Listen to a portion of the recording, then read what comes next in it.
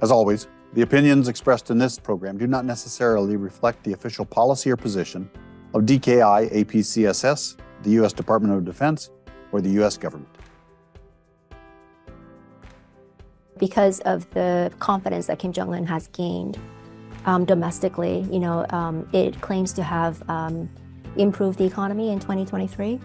Um, and uh, it survived the international sanctions, the self-isolation. So I think the self-confidence that Kim Jong Un has gained from from those developments domestically, and also um, the confidence he has gained from his summits with Putin, um, the improving relationship with Russia, will um, likely keep Kim Jong Un on this path um, that he's currently on, which is not toward reform, but away from reform. From the Daniel K. Inouye Asia Pacific Center for Security Studies in Honolulu, Hawaii, welcome to another episode of the Security Nexus webinar, where we explore the most pressing security challenges and geopolitical shifts shaping our world today. I'm your host, James Minnich, Colonel United States Army retired and professor here at DKI APCSS. It's a pleasure to have you with us for this insightful conversation in episode 24 North Korea Russia Alliance Economic and Geopolitical Implications. The relationship between North Korea and Russia has taken a significant leap forward recently. In mid June, we witnessed a historic moment as Russian President Vladimir Putin and North Korean leader Kim Jong un signed a mutual defense treaty. This move, coinciding with Russia's ongoing war in Ukraine and escalating tensions on the Korean Peninsula, has heightened concerns among the U.S. and its allies and signals a new era of strategic partnership between these two nations. North Korea, long striving for self reliance amidst international sanctions and isolation, sees a potential lifeline in its growing relationship with Russia. It's a chance to diversify its partnerships, secure much needed economic support and technological exchange, and perhaps even gain a stronger foothold on the global stage. On the other hand, Russia, a global power with ambitions in the Asia Pacific, views North Korea as a strategic asset, offering an opportunity to expand its influence, counterbalance Western pressure, and potentially gain access to valuable resources and military cooperation. The implications of this burgeoning alliance are vast and multifaceted. It could reshape the balance of power in Northeast Asia, influencing the strategies of major players like the United States, South Korea, and Japan. It raises questions about the effectiveness of international sanctions and the potential for new diplomatic avenues. And crucially, it has the potential to impact the lives of millions of North Koreans who have long endured economic hardship. Today, we'll unravel the complexities of this evolving partnership, exploring its economic, political, and humanitarian dimensions. We'll examine the potential benefits and risks for North Korea and Russia explore the potential impacts on regional and global stability, and consider the human cost of these geopolitical maneuvers.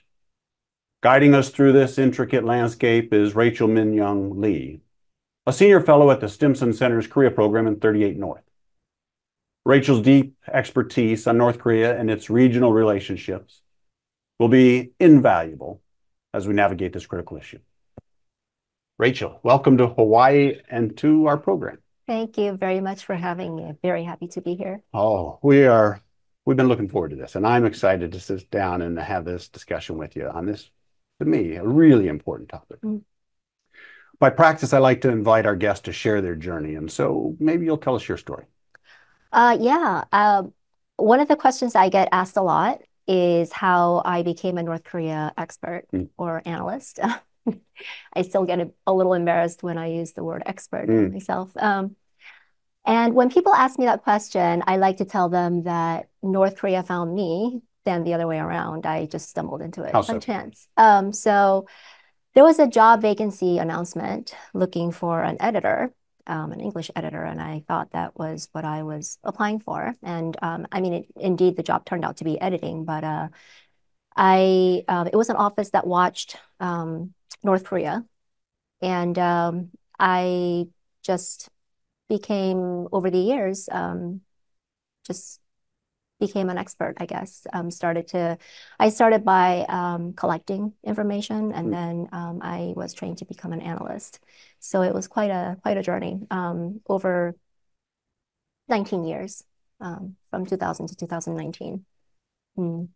Now you focus in the field of economics, is that right? Um, actually, I was trained to do propaganda analysis. Oh, same one. So propaganda analysis, looking at um, really a broad range of issues. Um, I would say everything with the exception of uh, WMD mm. and um, science and technology.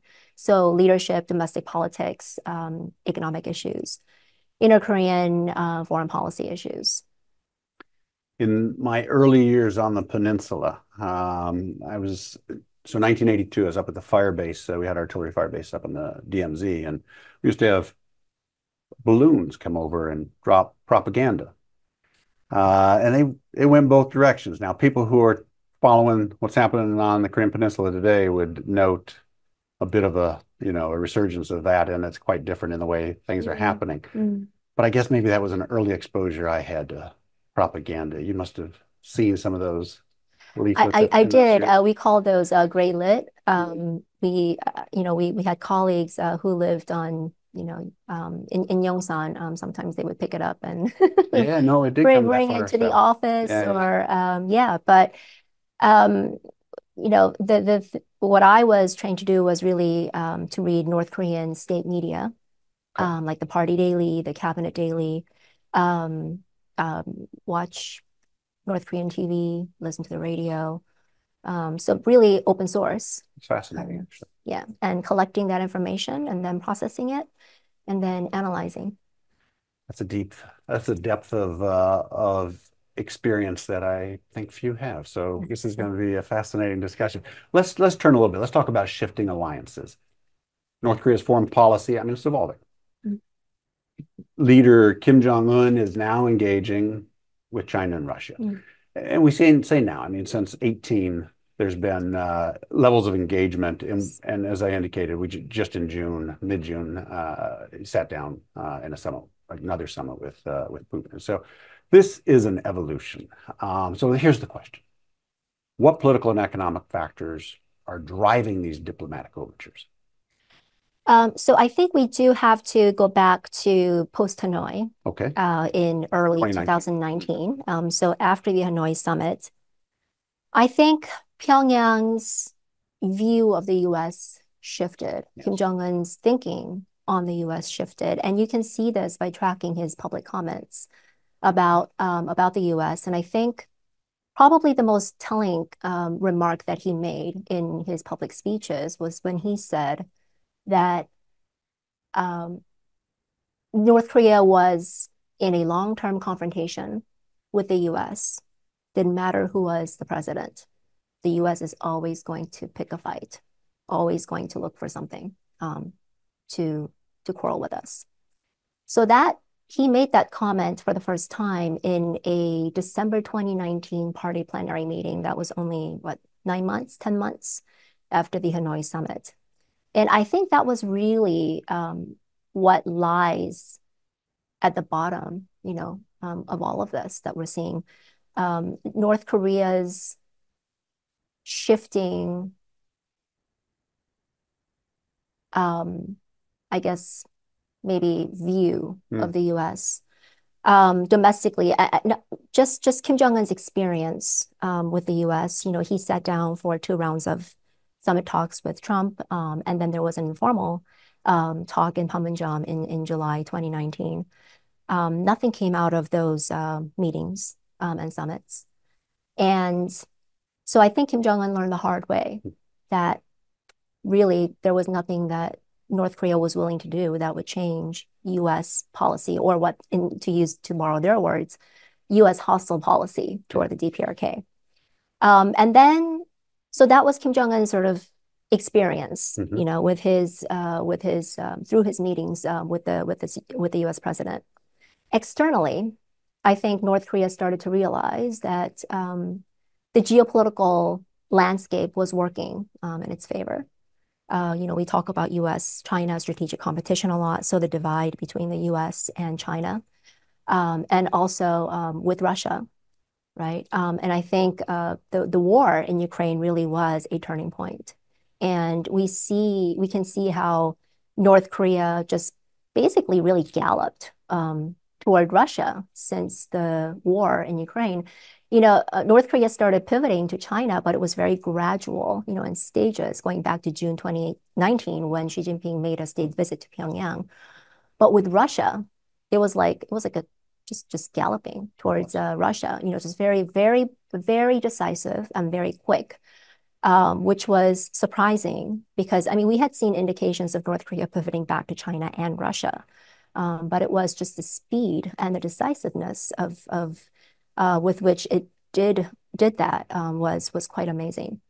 But I would say really the centerpiece of North Korea's foreign policy uh, for 30 plus years, going back to the 1990s, really was um, normalizing relations with D.C., with with Washington, uh, by working toward denuclearization and uh, moving away from China and Russia, so non-alignment with China and Russia. And because that centerpiece of their foreign policy, uh, working toward normalization relations with the U.S., because that changed, and that was a fundamental shift, Um, I think their natural recourse um, was to pivot back to China and Russia. And, you know, as I mentioned earlier, you know, the geopolitical landscape, I think, um, played a decisive role in North Korea's decision to pivot back to those uh, two giant uh, neighbors that they uh, tried to move away from. And of course, I think the other decisive factor in North Korea's thinking about, you know, the world, the geopolitical order, was how it perceived U.S. leadership on the global stage. Um, I think what it saw was declining U.S. leadership and power um, on the global stage. I think North Korea was keeping a very close eye on what was happening in Afghanistan, you know, the pull, the pullout, how that happened. Um, and of course, again, the strategic competition with the U.S., China. Um, so I think all of that was taken into account as well. And you can see this by um, tracking again Kim Jong-un's uh, public statements. Uh, for the first time in public, uh, in September 2021, I believe, um, in a speech to the Supreme People's Assembly, which is North Korea's parliament, he for the first time mentioned multipolar world, a new Cold War. So you can tell, you know, where that where they were, you know, some of the drivers um, of really what shaped North Korea's thinking. Yeah, no, you're absolutely right. I've tracked this issue for a long mm-hmm. time. And in 1994, in October 1994, when the agreed uh, framework was signed, many mm-hmm. people probably not realize, but one of the four major tenets was normalizing economic and political relations with the mm-hmm. United States, as was uh, the 2005 uh, statement that from the Six-Party Talks. Or even when uh, Kim Jong-un came to power after his father died in December of 2011, we had the Leap Day deal just two months later that he felt secure enough in his position as a new leader to be able to engage with the United States in mm-hmm. February of uh, 2012. Mm-hmm. Um, no, thanks for pulling on that because I think there's a lot of context to be held uh, over this period of time to mm-hmm. to make sense of where we find ourselves today. I want to pull a little bit more, though. You spoke about uh, its relations with China and how it had been growing there. Uh, we'll start there before we go into uh, more about Russia. But China's economic embrace. I mean, North Korea's dependency on China, it has grown significantly since the imposition of UN sanctions after the first nuclear test in October of 2006, mm-hmm. right? So here's a question. How has the reliance evolved recently? Mm. And what potential economic consequences might arise from North Korea's diversifying partnership? That is an interesting question. Um, and, you know, you're right. North Korea's uh, dependence on China has grown astronomically. I mean, North Korea's trade with China is accounts for 98.3% of North Korea's entire trade volume. So with the rest of the world, it's what, 1.7%, right?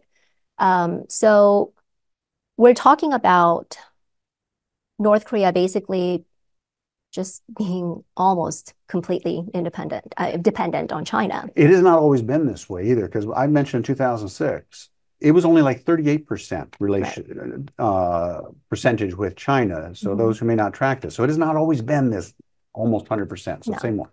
And you know, I think it is important to note on on that note, you know, talking about almost or near complete uh, dependence on China um, economically. Kim Jong-un is very much aware of this. And you can tell because during the border lockdown um, to prevent or manage um, COVID outbreaks, you know, there was a major national campaign for recycling and for local production. And I think, of course, there are many facets to that, you know, many multiple reasons as to why he launched that campaign. But I think one major driver was to try to bring down North Korea's over-reliance on China economically. Um, so you can tell that there is that leadership um, awareness um, of the risks involved um, in being overly reliant on one country. In terms of the potential implications of North Korea's diversifying um, partnerships um, for North Korea's relationship with uh, with China, I think there is some debate among scholars about um, the potential implications, and partly because we have yet to see how those implications play out. Hmm. Uh, because North Korea is still in the stages of diversifying, starting with Russia, and we're starting to see more exchange between the North Koreans and the Belarusians. Um, so we're still in the beginning stages. We have yet to um, yet to know for sure what the implications would be. But um, so far, I think the over, I think the um most experts are in agreement that even with North Korea's deepening and expanding relationship with Russia, it'll be extremely difficult for Russia to replace China. Oh. Um, I mean, you know, I mean, 98.3% is not an easy number to work with. No, I mean, and maybe you could say more, but it feels, let's let's go there now. I mean, let's just ask about the, you know, what specific economic gains then do you see that North Korea is trying to get from Russia? Because this is quite different between what they get from China and then. Well, yeah, so we'll start with the easy ones. Okay. Um the uh the wheat, right, crude oil, uh refined petroleum products um are what North Korea could gain immediately. And in fact, I think we have seen multiple reports um, saying that Russia has been shipping um, those products that I just mentioned. And so that's the most obvious benefit that North Korea would seek from the Russians. Um, I think there has been some media reports about uh, there have been some media reports about North and Russia uh, releasing or uh, releasing $9 million um, out of what, some $30 million that are um, of frozen assets in a Russian financial institution. Hmm. So that's, again, something that North Korea, that's a benefit for North Korea by cultivating Uh, relations with the Russians. Um, and of course, the whatever North Korea is gaining um, from Russia, from the uh, the weapons exports.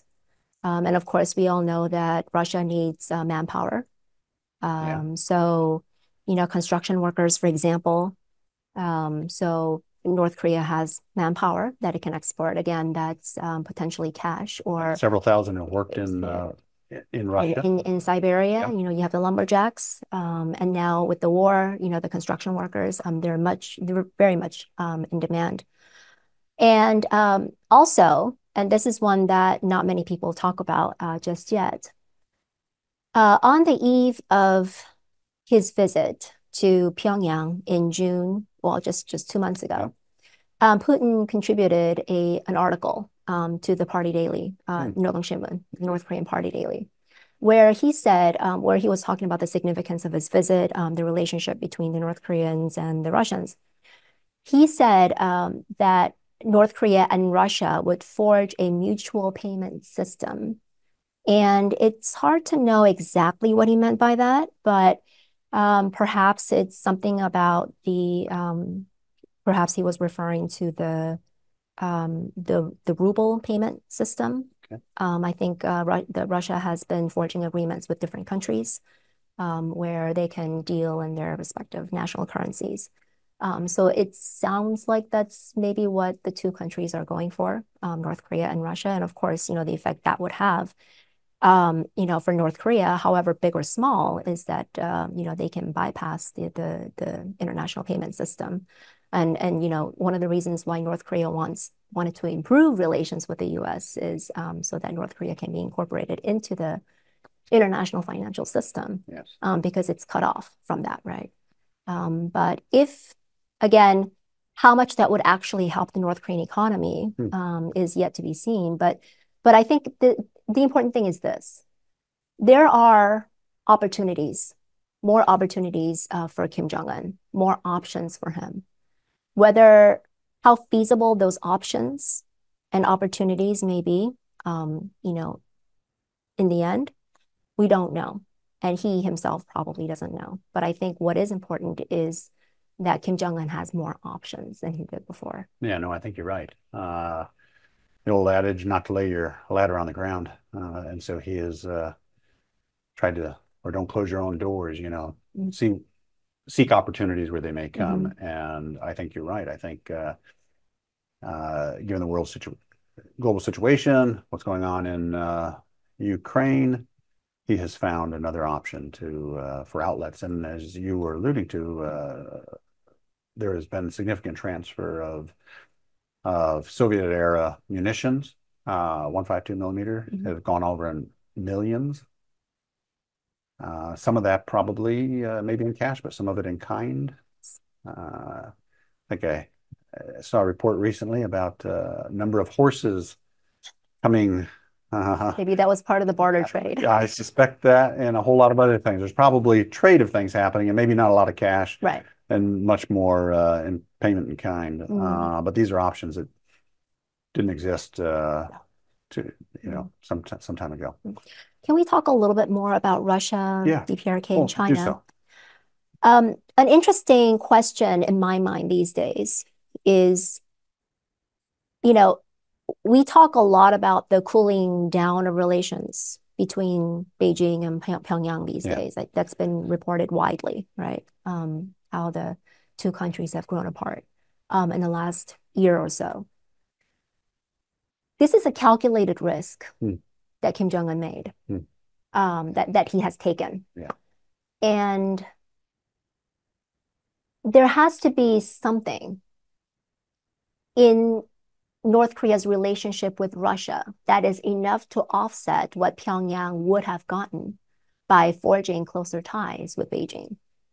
And, you know, I do, this is like an open-ended question. It's like a rhetorical question, but, you know, I think that is important to keep in mind. And again, we go back to something that I talked about earlier, which is options. You know, what options and opportunities does Kim Jong-un see? You know, especially given the fact that 98.3% of North Korea's entire trade volume, I mean, that that that that's with China, right? Joseph Nye once said, uh, security is like oxygen. You tend not to think of it until it begins to disappear, and then you can think of nothing else. And I mm-hmm. wonder, mm-hmm. listening to you, how much of this is uh, calculated mm-hmm. on hard security issues. Uh-huh. Because the relationship with with Russia seems to be much more tightly knit in those security areas. And it was much broader economic areas with China. Mm-hmm. And there must be, though, I, transfers of technology and capabilities uh, with Russia in mm-hmm. in the defense area. And I think we're I think we're going to see some of that. Maybe we're seeing some of it and don't recognize it now, but it was only a year ago when uh, uh, Defense Minister Shoigu came down to uh, Pyongyang, right? Which was shocking. Wasn't it? To me. yeah. Shocking to a whole lot of people. Why? Why Well, I mean, you know, first of all, um, that anniversary, 7/27, which North Korea calls the War Victory Day. Yes, the day the armistice was uh, signed in 1953. So that's the Armistice Day uh, for for all of us. But in North Korea, it's called the um, the Fatherland's um, Victory, um, the Day of the Fatherland's War War Victory. Yes. That anniversary was not celebrated with the Russians. Hmm. you know, just because of the way um, the, you know, the, the Soviets' uh, role or lack of a role in the Korean War. You know, um, the war began with uh, Stalin basically giving a green light to Kim Il Sung, but um, you know, they never really followed through in the way that Kim Il Sung had expected. It was really, at the end of the day, the Chinese and the Chinese People's Volunteers, the CPV, that saved the day for yeah. North Korea. So that anniversary was not celebrated with the Russians, mm. at least not in modern history. Yeah. Um, and so to see a high ranking Russian official coming to Pyongyang uh, to watch a military parade, and, and of all high ranking Russian officials, defense, defense minister. I mean, I think that was so symbolic in so many ways. Yeah. And, and which tells me that, or which kind of implies that perhaps something was already going amiss, like between the Rush, uh, between the Chinese, Chinese, and the North Koreans, already back then in in the summer of 2023. No, well said and interesting. Mm. If it's okay, I think I'm going to pull this uh, conversation this year. Some other things, uh, uh you know, the UN panel of experts mm.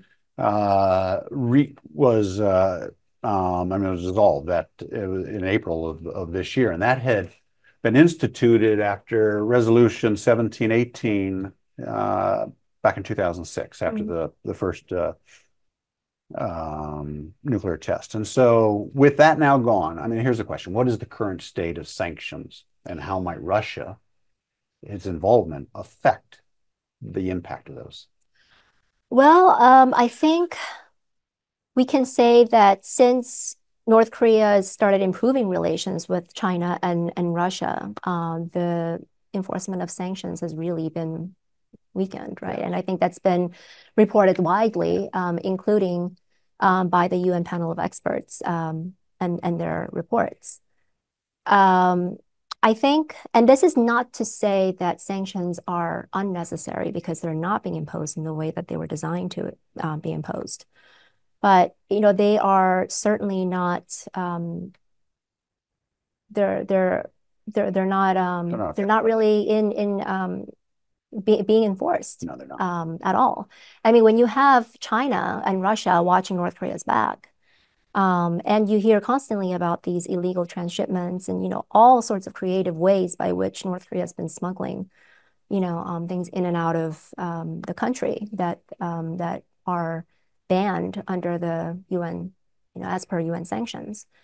Um, you know, which of course is one of the reasons why I think um, North Korea and the North Korean economy has survived despite the years of um, international sanctions being imposed, um, nominally at least.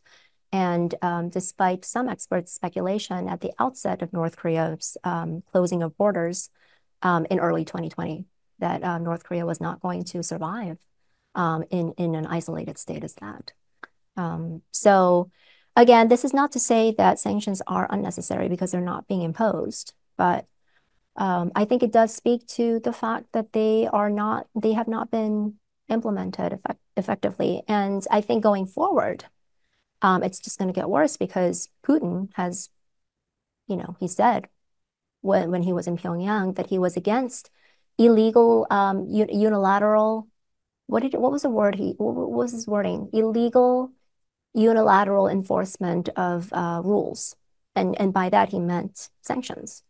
Um, he was pretty um, he was pretty direct about that. Having been sanctioned, uh, and they're in the same themselves, boat. and they're in the same um, boat. Yeah, they have zero impetus to uh, to to sanction and and and the relationship, the strengthened relationship with North Korea, North Korea providing mm-hmm. uh, significant amounts of weaponry. Mm-hmm. Um, I think the, the observant uh, person could have seen this coming. Yes. Uh, yeah.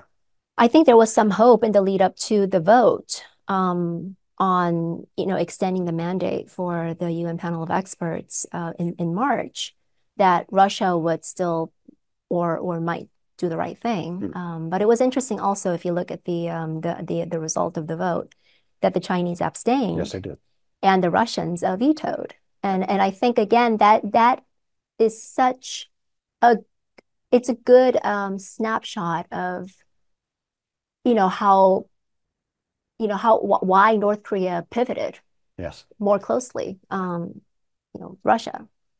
Um, they went out all all the way to veto, whereas the Chinese abstained, right? So, um, kind of trying to do the right thing, you know. Um, so, you know, from Kim Jong Un's point of view, who's more reliant? Like, who's more reliable?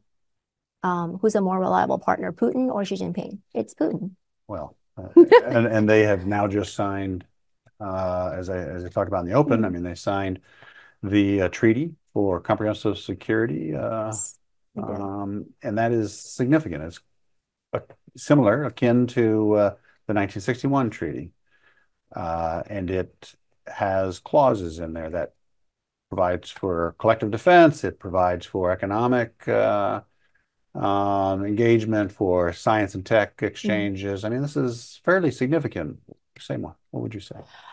Um, I think so. I think we knew um, that a treaty was coming down the pike um, because of North Korean media's readout of uh, the foreign minister Choi Son-hee's uh, visit to Moscow Year. um, in in January 2024, and Okay. in the readout of her uh, the outcome of her visit to uh, to Russia, it said that uh, the two countries had agreed to put um, the relationship on a legal on a new legal framework.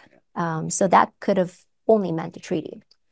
So we knew that they were working um, that they had been working on a new treaty, and you know there are concerning clauses just you know throughout the document, um, and I don't want to necessarily exaggerate or like overplay um, or like be an alarmist, right, about the uh, the the treaty. It's concerning, um, definitely, but at the same time, I think we have to remember that we have yet to see how the treaty is actually implemented, I think right? you're right. Yeah.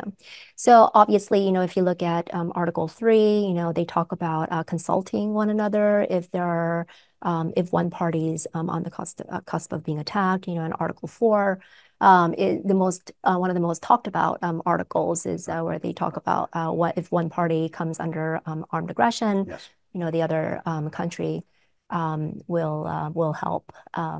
You know, but but of course there's that caveat um, according to the uh, domestic laws and uh, the um, Article 51 of, of of the UN Charter. So there is that caveat. Um, you know, so giving each country some wiggle room, um, so as not to become automatically involved. Um, and I think Article 8 also talks about alludes to forming some kind of a security arrangement that smacks to me of um, uh, the U.S. ROK Japan you know trilateral security uh, cooperation arrangement. also a year old. Mm, Mm. Yes.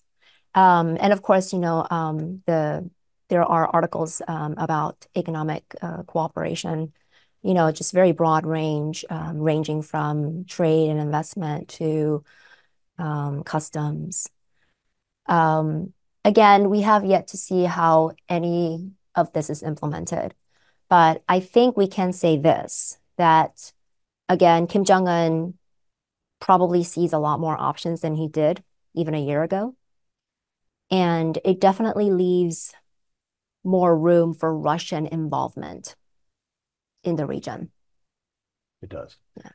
I think if, for some perspective as well, the uh, the 1961 um, treaty Mm. lasted for decades, I think till 96. And never once did they uh, um, come to the defense of another Mhm. side. And, and in the late 60s, you know, we had what we would refer to as the Second Korean War, where there was quite a bit of fighting going on in the DMZ, even in 68, the attack at the Blue House. And so none of those things triggered, No. even then, uh, any type of uh, mutual defense. That's that's a very good um, that's a very good point. Yes. Mm. And and the other thing too about the treaty, this treaty is, you know, you enter into a treaty with a, and this is another question that comes up a lot, right? When we talk about North Korea-Russia relations, is um, is this relationship strategic and long term, or is this short term tactical? Um, the so a treaty you enter into a treaty, I think, with a strategic intent Oh, uh, one would Right. think.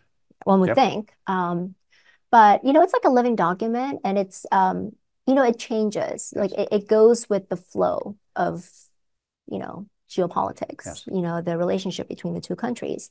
So if we think about the um, the 1961 treaty um, between the Soviet Union and the DPRK, forged, I, I believe, in uh, July 1961. Um, little did Kim Il Sung know that in October 1962 there would be the Cuban Missile Crisis, um, which really um, you know, uh, raised a red flag for for Kim Il Sung, and you know, raised questions, a lot of questions in his mind about whether the Soviets were reliable, you know, which then induced him to um, embark on a long journey of uh, prioritizing defense over the civilian economy. Um, so, which I think we'll talk about a little bit later. But yeah, it's um, you just don't know. Even Kim Il Sung, even Kim, not Kim Il Sung, Kim Jong Un and Putin, um, I believe. Uh, I'm not a Russia expert, um, but definitely from uh, from North Korea's point of view, the treaty was entered into with a strategic intent. But um, you know, I think the North Koreans are also smart enough to know that it's not like a, you know, forever. You know, um, nothing can change the nature of this relationship, right? I mean, I think they're aware of that. Yeah, no. Well said. Let's talk uh, about human the human toll of all of this right now. So the economic hardship mm-hmm. has had profound impact on the North Korean people. How does the current economic situation affect the lives of ordinary North Koreans? And how might a closer relationship with Russia affect their well being? You know, when we talk about the North Korean economy, um, it's it's really hard to gauge exactly how difficult the situation is. We can only surmise um, based on um, you know, testimonials, you know, the defector testimonials, the um, the different uh, data that we're seeing, um, you know, the economic indices from, um, you know, not from North Korea, but um, you know, the there are different ways of deriving, um, you know, economic um, North Korean economic indices. So, you know, the and then, of course, you know, there are um, organizations that track uh, market prices like grain prices, you know, um, the exchange rate current uh, fluctuations. So all of those things come together. And then, of course, um, you have North Korean state media uh, where you can get some indication of how difficult or not so difficult the situation may be. And I think overall, it is fair to say that um, the situation is very, um, it's a very, it's a difficult situation. Um, I think we can say that um, economic hardship for sure um, is there. But I do want to sort of, you know, to be, you know, we, we, we should acknowledge what we know and what we don't know about the North Korean economy. Um, so this is actually not to deny that, you know, the situation is, is, um, is difficult, but just to say that we don't, nobody really knows exactly how difficult the situation is. Um, that said, I think the relationship with Russia um, and its impact or potential impact on the North Korean people's livelihood. I don't think that that's going to have a a visible, visibly, um, visibly um, significant or um, yeah, significant okay. impact. Um, not in the short term. We know that North Korea is importing wheat, um, crude oil, um, you know, refined petroleum uh, products. Um, I think it will take a while before any of that actually starts to have an impact on um, everyday people's um, livelihood. For sure, I think with what they're importing, you know, the oil and petroleum from Russia, you know, it'll get things going, moving along, you know, on the, you know, in terms of operating factories, for example, or on the agricultural front. But um, it's it's um, it's it takes a lot to turn the economy around. Uh, we're talking about in order to improve the economy to a point where it can actually have a direct impact on the um, on your ordinary people. Um, there has to be some fundamental change, and whether Russia is going to be a positive influence on North Korea in terms of inducing that positive change, I am skeptical. I mean, you know, Russia is not exactly known for its market econ like vibrant market economy. Sure. Um, so, you know, positive influence, not really. I think it um, again poses or provides or offers more options for Kim Jong Un. That said, whether those options are stopgap measures or whether Kim Jong-un is going to use those opportunities to fundamentally turn its economy around so that it does have a positive impact on the people. Um, that I think is left to be seen. My worry is that because Kim Jong-un sees some, he has more breathing space, right? Um, because of his blossoming, the, blossoming relationship with Russia. I think this is only going to confirm for Kim Jong-un and his associates that what they are doing with the economy, their economic policy, um, is something that they can maintain. Um, and the economic policy that we're talking about right now um, is not one that we want to see. So it's not. It's they're talking about greater central control, Uh, which goes against the essence of of reform. Um, and the essence of Kim Jong-un's reform measures hmm. um, is uh, is decentralization, you know, giving more responsibility to lower-level units, um, to individuals. So centralization goes against that against that tenor. So, you know, when you have, again, you know, when, if, if Kim Jong-un sees Russia Um, as a lifeline, at least for the near term, he has really no incentive um, to change what he's doing. I think it's, in fact, um, I worry that it's just going to confirm for him that he can just keep just just keep on this track that that he's currently on. I want to pull on some some things you were talking about, uh, with, you know, a trading relationship. Mm. I mean, we spoke earlier in the, in the show about military trade, but there are other resources that are of value to both sides. Could you, what would you see as those resources which would be of of interest, that that that could could expand this relationship? I mean, Articles 10 and 11, they talk about this economic uh, of the treaty, talk about doing this, going in this direction. Well, um, so it's really hard to see how Russia's investment would actually come to fruition because there have been attempts made in the past, uh, where the two countries talked about investment, you know, greater economic cooperation, but nothing really came out of those various talks and discussions, like the North Korea-Russia uh, treaty, uh, signed in July 2021 when Putin visited um, Pyongyang. Um, that treaty also contained language about economic cooperation, but, you know, nothing really came out of it. Um, but I mean, of course, the situation now is vastly different from 2001. Um, and I think, uh, for both sides, uh, there's more, there's going to be more incentive for them to to forge a stronger, or try to forge a stronger economic relationship. But it's if we go back by if we go by past, you know, like past precedent, Um, it's it's it raises questions about the the actual feasibility of um, of of what what they're alluding to um, in the in in articles, um, in the two articles, Article 10 and 11. 11, yeah. Yeah.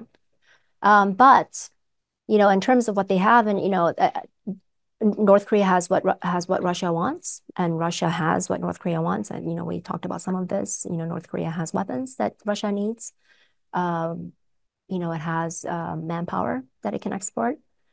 Um, you know, Russia can provide uh, North Korea with, again, wheat, crude oil, petroleum, refined petroleum. Um, so it's, but beyond that, it would be, Uh, you know, we we talk about, uh, we hear about North Korean uh, or Russian tourists um, visiting um, Pyongyang. I am not sure how many Russians would actually continue to visit North Korea, um, to it, and and if so, is that number going to be enough to revive North Korea's tourism industry? We know that North Korea, Kim Jong-un is investing in tourism right now. You know, just just a few weeks ago, he visited, you know, Wonsan, and they want to um, open it up uh, for tourists um, sometime next year, I believe. Um, but again, is that going to be is is Russian demand going to be enough? And again, I think these are questions that that that are left to be seen. Yeah. Mm-hmm. So you've kind of built up this tension now, this proverbial guns over butter. And this is important. Choices have to be made. Decisions have to be uh, weighed. Uh, so how does this relationship with North Korea, Russia and North Korea, I mean, how does it provide this trade-off? Uh, and what will that mean then between military spending and the welfare of the citizens? Mm-hmm. So I think this is a very important question. Um, I think so some people, um, North Korea seems to think that, Um, and it has, well, it it, has argued in the past, and it is it is doing so now, hmm.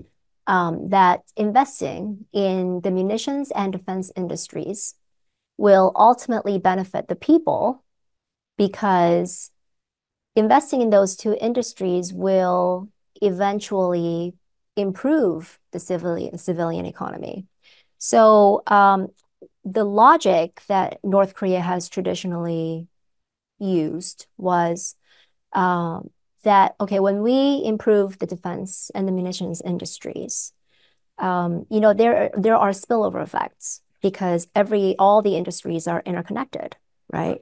So like heavy industries, for example, um, you know, we're talking about metal, chemical, right? Machinery. So those are all key industries in North Korea. That's right. Right? And at and at the same time, those heavy industries are critical for munitions and defense, right? Those two industries. So North Korea's logic has always been when it wanted to invest more in defense and munitions was, well, you know, look at what look at look at the heavy industries, right? We invest in heavy industries and they'll, you know, feed into the defense, you know, and munitions uh, industries. And in turn, everybody's happy because those will ultimately benefit the civilian economy. So their thinking is uh, we revive the munitions and defense industries. The civilian um, economy blossoms in the end. I mean, to give you an example, the Kim Chaek uh, Steel Mill probably employs 50,000 people. It is a massive, uh, you know, uh, employer of of people. Mm-hmm. And if you're, whatever you're pumping out of that steel mill is is putting people at work. To your point. Mm-hmm. Yeah. I mean, that's how they portray it. Yeah. Um, So, but then my, you know, common sense though would dictate that every country has limited resources, right? Oh, of course. Um, every country, not just North Korea, right? Every country. So the more you spend on defense, the less you spend on the civilian, on the civilian economy. Um, and, you know, for North Korea especially, it's important, you know, like where that money goes because, you know, the the less you spend on the civilian economic sectors, the the the less likelihood there is of, you know, these, uh, you know, what we call market-oriented measures that Kim Jong-un implemented at the outset of his rule. You know, the the less likelihood of those market-oriented measures to to actually take root and blossom. Yeah. Um, You know, North Korea has, you know, even when they were shooting off missiles and, you know, conducting nuclear tests, you know, the Byungjin during the Byungjin years between 2013 and 2000, um, you know, April 2018, um, you know, they had the Byungjin policy, which is parallel uh-huh. development of nuclear forces and um, the economy. But, you know, the civilian economy always took a back backseat.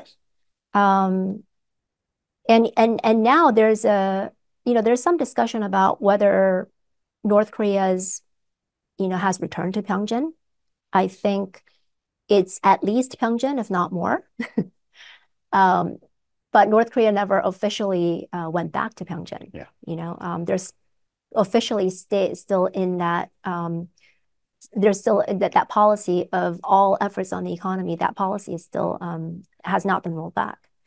Yeah. But it's Byungjin and Byungjin, if not more than Byungjin. I mean, I think that's North Korea has decided that the best way for now to revive the economy is by revitalizing the munitions and the defense industries. And I think we see that playing out in the media. You know, if you look at um, the concentration of uh, Kim Jong-un's public appearances, you know, and and he's made a lot of appearances um, in the munitions Uh, factories, uh, the defense uh, institutes, um, you know, the enterprises run by, you know, the defense, the um, the Academy of um, Military or Defense. Science. It's very much military and defense industry focused, which is an irony because we hear about the 20 by 10 policy in North Korean media a lot, which is why, you know, it's it it kind of seems like Byungjin, right, where you have parallel mm-hmm. development of the civilian economy. The 20 by 10 policy is a civilian economic project. That would be uh, one industry in mm-hmm. in in a, in every county, in 10 counties for 20 years. Is that right? Um, building. 20 counties for 10 years. Right. Building um, industrial factories in uh, 20 counties or cities um, over the next 10 years. Uh, launched earlier this year. But again, you know, it's an irony because, you know, they they talk about it a lot, like every day. You know, it has got it has like very prominent um, media coverage in in North Korea. But, um, you know, if you think about, if you look at where Kim Jong-un is going, a lot more appearances, military and defense uh, munitions. Yeah. In the interest of time, I'm going to move to, uh, let me ask you this. Uh, what are your, what's your predictions for the uh, future outlook for where this goes? Long-term economic outcomes for North Korea? Um, I think North Korea is still struggling to find the right balance between market-oriented measures and control. And I think it will continue to be in that mode. Um, And I think Russia improved relations with Russia. We don't know how long, um, you know, this tension between North Korea and China will last. But um, assuming that it doesn't last, it's not a strategic change on North Korea's part. Um, you know, they'll the relationship will improve. Yeah. And if so, like even more options for Kim Jong-un, right? Better relationship with Russia and and and also with China. And that means less motivation to improve relations with the U.S. And because of, you know, the the correlation between North Korea's foreign policy and North Korea's economic policy, um, I think when we see that pivot towards Russia and China and pulling back from the U.S., it doesn't bode well um, for the North Korean economy. And I think um, one other thing that I would like to add is that, you know, we have to assume that North Korea is learning a lot of lessons from Russia's war in Ukraine and how the Russians have managed to actually grow the economy uh, during the war. And I think that's a major learn uh, lesson learned for Kim Jong-un. And I think, I wonder if he thinks that he can build some form of wartime economy the way that Russia has. You know, and again, this goes back to my point earlier about revitalizing the defense and munitions industries. Yes. Yeah. Oh, we could have another hour's discussion on that. And it would be fascinating to me.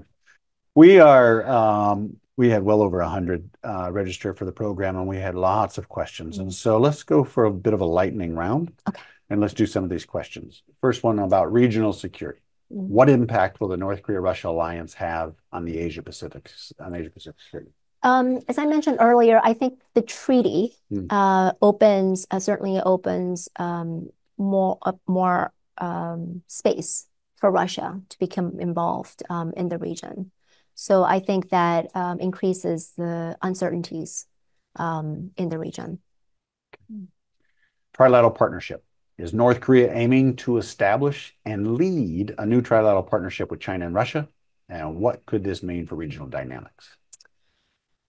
I don't, I personally don't think that North Korea, I think that North Korea would like to forge um, something similar to what um, the U.S. and the ROK and Japan have, right? The security um, cooperation. But I think it also understands that China is reluctant and will probably continue to be reluctant, you know, in terms of being pulled into that dynamic, right? Of the dynamic here referring to China, Russia, and North Korea. So I don't think that they will aspire to that. I think they would like to, but I think they're um, they probably understand that that's not going to be likely. Um, however, speaking of um, alliances and arrangements, arrange, trilateral arrangements, I think that they would be very glad to join um, as an active player. Um, any bloc formation um, attempt by Russia, uh, not as a passive participant, but as an active participant, probably seeing itself even as a key player. Mm. Interesting. And, and and for that reason, I think um, their burgeoning relationship with the Belarusians is something to keep an eye on. Oh, okay. Regime stability. How does the partnership with Russia influence North Korea's domestic political landscape, particularly regarding regime stability? Uh, I think it's it will be have a positive impact, you know, in terms of regime security, because again, I have to go back to my point earlier about the various options that even more options that Kim Jong Un now has, um, the breathing space that um, this improved relationship with with Russia um, provides. For example, the wheat, the the oil, petroleum um, that it wasn't getting before. China's influence is the next question. How could this partnership challenge China's influence over North Korea? And what are the potential economic consequences if there is a rivalry there? Mm. Uh, that's an interesting question. Um, I don't think that China has too much influence on North Korea right now. Um, whether how long this lasts, we don't know. Um, I have a feeling that Kim Jong Un feels like he can go back to China mm. at any point if he when he feels like it. You know, it's like a relationship that's kind of like always there that he can just go back to. That's that's how I that's how I see, you know, um, Kim Jong Un thinking about um, you know, his relationship with China because, you know, we also we often times focus so much on China's leverage or influence over North Korea, but you know, we don't think about, you know, the fact that China needs North Korea's stability. It does. It's right? Its, it's, 14 uh, neighboring states, and it does not want instability on the, any part of it. It's the status quo. Yeah. You know, I mean, North China just has to shut off the um, the the oil pipeline into North Korea, but it doesn't. It hasn't, right? Even even even when the relationship was at their at its worst. So we know that Kim Jong Un knows this. Yes. Um, and that's North Korea's leverage over China. Um, so, so in that sense, I think um, North Korea knows that it probably can go back to China um, at any point. Um, but in terms of um, the economic relationship, again, 98.3% is hard to hard to replace, you know, from any country's point of view. Economic policy shifts. Could the economic cooperation between North Korea and Russia lead to significant shifts in North Korea's economic policies and its practices? You talked a little bit about that. Would you say any more? Um, I think it's it, it doesn't bode well for for uh, North Korea's reform policies. I think um, you know because of the confidence that Kim Jong Un has gained um, domestically. You know, um, it claims to have um, improved the economy in 2023. Um, and uh, it survived the international sanctions, the self-isolation. So I think the self-confidence that Kim Jong-un has gained from from those developments domestically, and also um, the confidence he has gained from his summits with Putin, um, the improving relationship with Russia, will likely keep Kim Jong-un on this path that he's currently on, which is not toward reform, but away from reform. There are more questions we could ask, but we're going to have to leave it at that. I always like to ask the guests, though, to uh, give us a book recommendation. And so, what would you what would you recommend? Well, we talked about North Korea's foreign policy and the drivers of North Korea foreign policy a lot um, during this uh, session. So, uh, in that vein, uh, the book that I would like to recommend is um, North Korea's Foreign Policy, uh, the Kim Jong un regime in a Hostile World. Um, written by multiple um, authors, um, but edited by the great Scott Snyder, yes. the head of the KEI, mm-hmm. and um, Professor uh, Kyung A Park uh, from the University of Vancouver. Um, and um, some really great um, articles, basically talking about the drivers of uh, North Korea foreign policy uh, domestic um, drivers that we don't always talk about too much. So very insightful. This has been a very fast hour for me. Uh, I have greatly enjoyed this conversation. Thank you for accepting the offer to be here. Thank you so much for having me. Yeah. As we conclude, understanding the North Korea Russia alliance requires appreciating both the strategic motivations and the realities of global power dynamics. By recognizing the interplay between these complex factors, we can better consider the challenges and opportunities that drive this relationship. Now, I encourage you to join us on September 9th for our next Security Nexus webinar Shared Waters, Shared Futures Cooperative Approaches to Water Security in the Indo Pacific with Dr. Ethan Allen. Amidst growing water crisis in the Indo Pacific, this session will explore the urgent need for innovative strategies, technological advancements, and international cooperation to secure this vital resource for future generations. From all of us at the Daniel K. Inouye Asia Pacific Center for Security Studies in Honolulu, Hawaii, thank you for being a part of this important conversation. I'm James Minnich, and until we meet again, aloha oi. As always, the opinions expressed in this program do not necessarily reflect the official policy or position of DKI APCSS, the U.S. Department of Defense, or the U.S. government.